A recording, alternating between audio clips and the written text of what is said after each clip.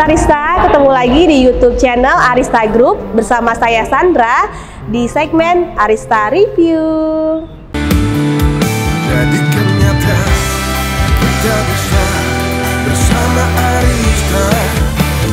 Terbaik dan terpercaya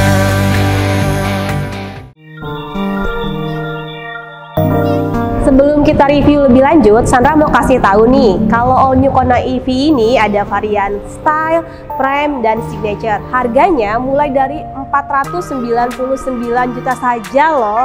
Nah, kalau gitu mari kita lihat yuk eksterior all new Kona EV. Dari sisi bagian depan, all new Kona Electric ini memiliki desain yang modern dan futuristik. Dilihat dari lampu LED dan DRL-nya yang kami sebut sebagai Seamless Horizon LED DRL. Lampu utama all new Kona ini sudah menggunakan LED proyektor sehingga membuat penerangan jalan lebih terang. Seperti mobil listrik pada umumnya, Kona Electric tidak memiliki grill di bagian depannya. Dia hanya memiliki bumper yang bertemakan pixel di bagian bawah ini. Untuk pengecasannya, dia ada di bagian depan sini. Cukup ditekan saja dan dia akan terbuka. Nah, dari sini bukan hanya untuk pengecasan, tapi juga untuk outdoor V2L-nya. Jadi, Kona EV ini dapat menjadi jasa perjalan loh. Hmm, keren kan? Di bagian depan sini juga ada prontrang atau bagasi sebesar 27 liter loh yang bisa dipakai untuk menyimpan barang. Bagian depan sudah, kita ke bagian samping yuk.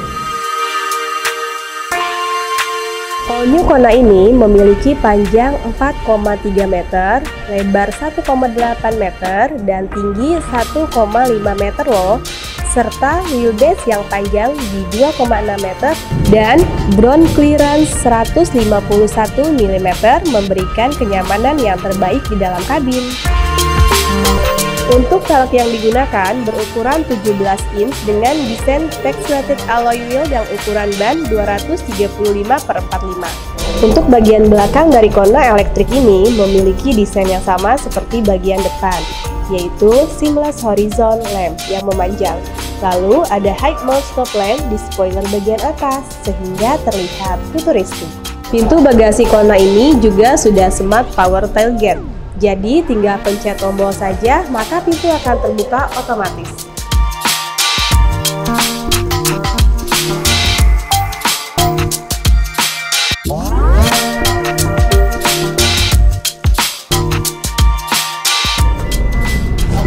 Sekarang kita lanjut ke bagian interior yuk.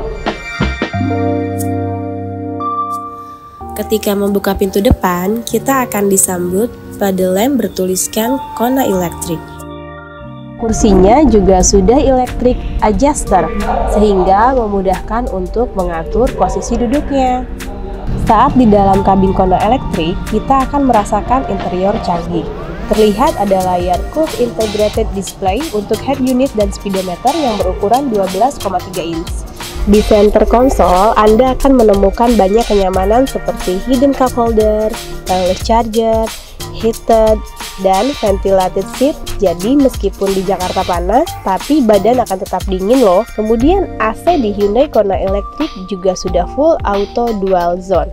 Di bagian setirnya pun ada banyak fitur canggih. Tombol sebelah kiri untuk mengatur smart sense yang dimiliki Kona Electric ini. Ada lane keeping axis, ada lane following axis, dan smart cruise control.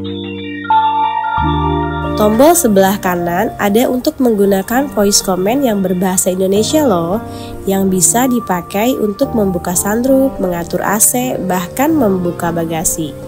Tidak lupa juga setirnya sudah tilt and telescopic.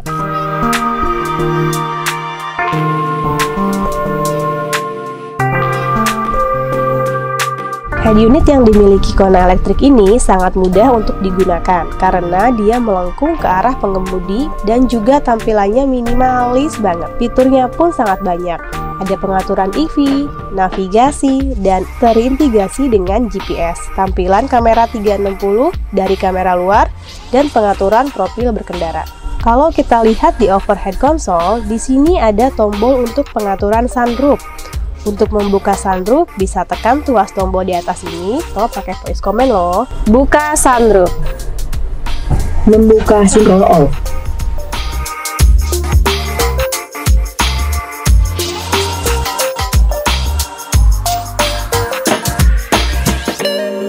Masuk ke baris kedua, kita akan merasakan leganya duduk di Kona elektrik, serta kenyamanan yang lebih karena sandarannya dapat direbahkan dengan dua level.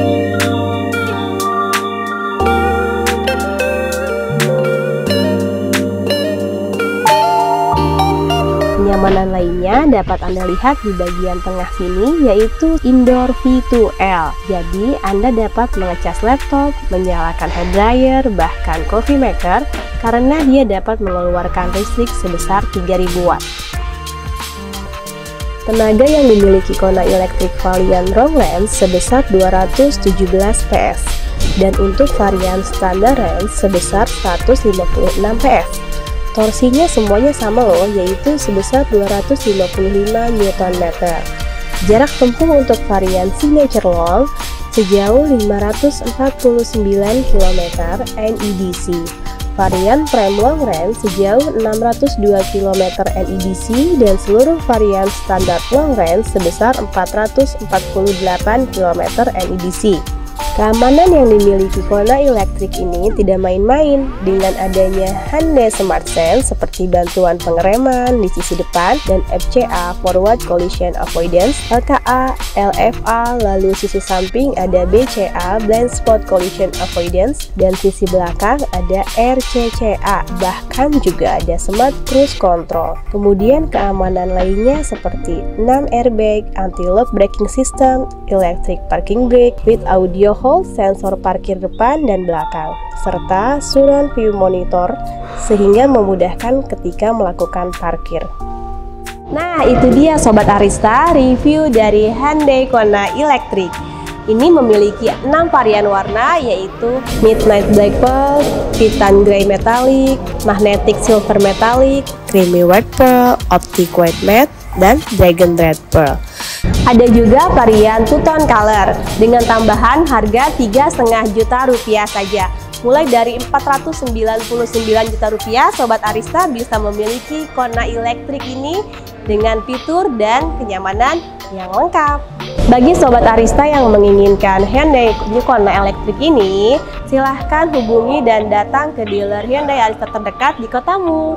Kalau begitu, Sandra pamit undur diri dulu. Jangan lupa subscribe, like, comment, and share. Sampai ketemu di Arista Review berikutnya.